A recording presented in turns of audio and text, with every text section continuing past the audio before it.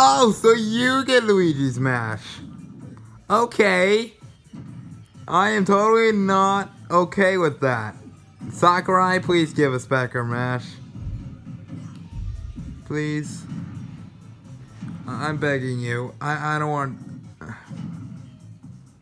Never mind. I mean, it's your game. You can do what you want with it, but... I- I'm being serious here.